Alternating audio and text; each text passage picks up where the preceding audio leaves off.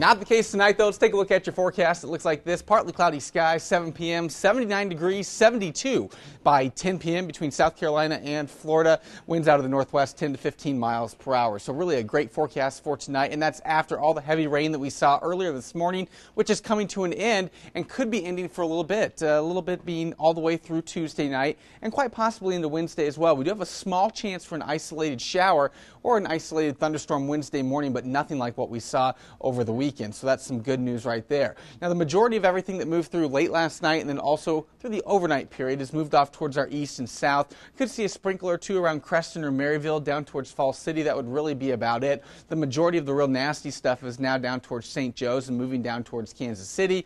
Otherwise, uh, again, some clouds locked into the area.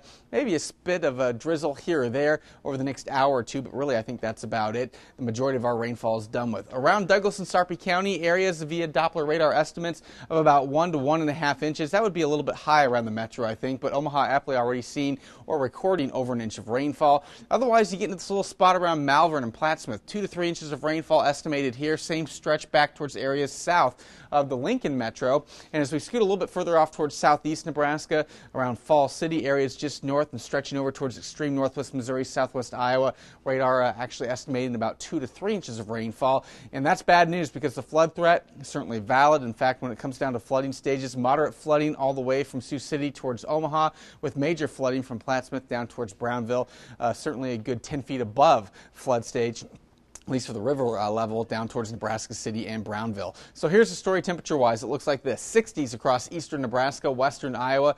Temperatures really not too bad. And they'll stay decent for today. 65, that's the current air temperature, Omaha Eppley. Cloudy skies with just a little peak of sunshine on the eastern horizon, as you saw in some of our tower cam shots a little bit earlier in the show. Here's how things look as we go throughout the afternoon hours. This is noon right here. We start to lose the clouds as we go towards the lunch hour.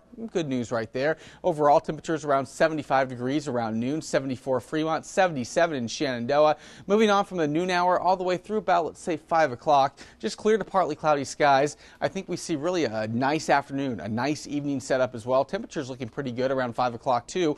80 here in the metro, 79 Fremont with lower 80s down towards areas like Falls City, also Tecumseh as well. And moving on through the, uh, well, let's say the 10 o'clock hour. Again, this is a, a good scene right here. Not much showing up, and that's the way we want it, especially after all the rain that we saw over the weekend.